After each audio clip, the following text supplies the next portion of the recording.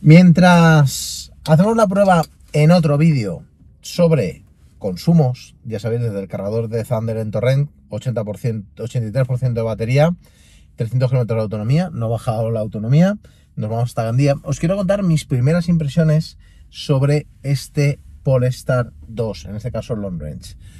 Primeras cosas que me llaman la atención. El cierre centralizado no me gusta como suena.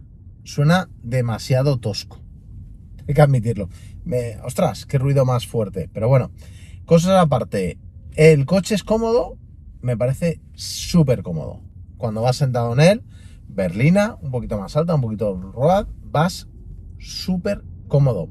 Me encanta la disposición de las pantallas, su colocación, eh, lo bien que se ven las pantallas, la pantalla detrás del volante con toda la información que queremos tener nos da una información tremendamente eh, buena porque tenemos varias configuraciones de hecho de, esta pantalla, pero tenemos velocímetro en la parte izquierda, la marcha, eh, las señales de velocidad que reconoce con las cámaras, eh, y en la parte de la derecha tenemos consumos, autonomía, pero toda la parte central tenemos qué luces llevamos encendidas, que las llevamos ahora mismo en automáticas, llevamos solo las luces de día y también llevamos el navegador en la parte central, lo cual se ve eh, espectacular, pues para no tener que desviar la mirada a la consola central.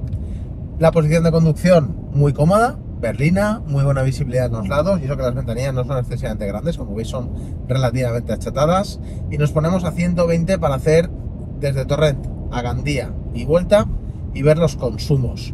Ya las medias que yo he estado viendo hasta llegar aquí me hablan de 21-22 eh, kilovatios a los 100 para esta versión long range con 220 kilovatios de, potencia. Así que, bueno, no, no va mal eh, de potencia, aunque los consumos podrían ser un poquito inferiores. Pero bueno, como he reseteado todo, nos ponemos en marcha y a ver los consumos hasta allí, que eso lo veréis en el otro vídeo. Otra cosa que me gustan, lo bien que funciona en este caso, todo el sistema de Android eh, Automotive o el sistema operativo Android integrado en este coche. Los Polestar eh, 2, 3 y otras versiones llevan el sistema operativo de eh, Android lo cual significa que todo lo que ves es Android.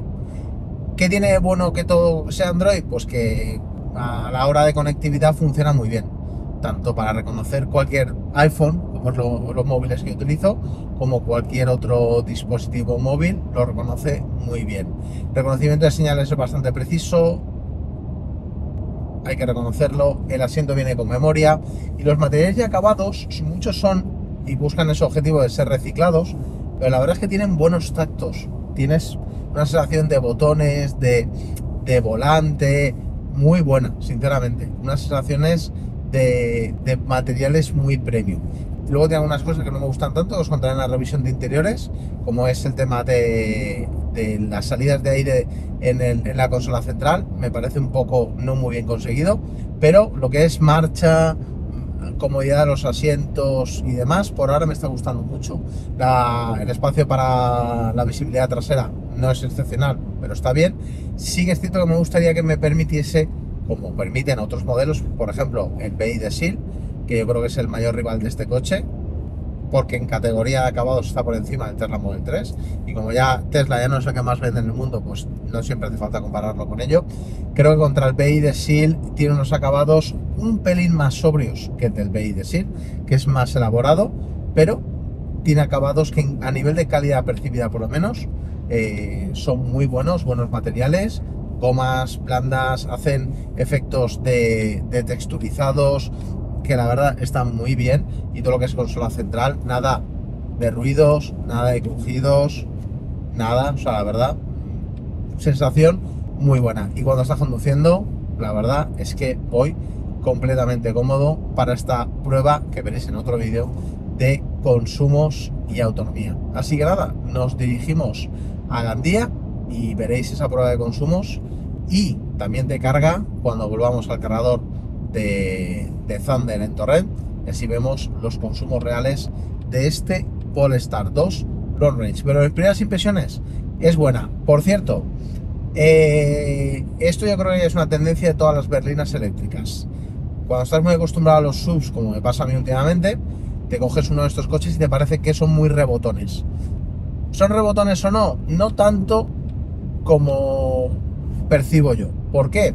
Porque al venir de una Berlín, de un sub con gomas mucho más grandes, con un recorrido de suspensión más pronunciado, esto me parece más rebotón. Pero la realidad es que no está nada mal y en comparación con el BI de SIL prácticamente tienes la misma sensación de deportividad o de toquetear en todo momento las eh, bueno la rugosidad del asfalto, una línea, un bachecito, así que muy parecido en ese aspecto.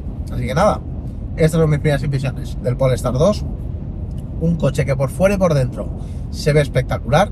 Yo os haré vídeo análisis de diseño exterior y diseño interior, pero por ahora voy muy cómodo. Tengo que admitir que cada vez me gustan más las berlinas eléctricas.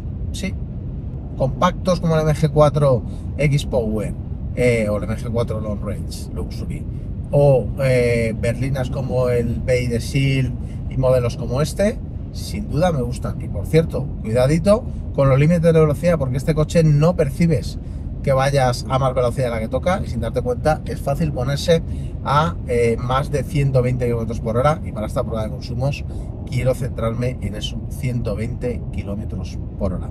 Así que nada amigos, os emplazo a siguientes vídeos, prueba de consumos, prueba de carga y revisiones que este Polestar 2 Long Range lo voy a tener unos días conmigo. Nos vemos el próximo vídeo amigos.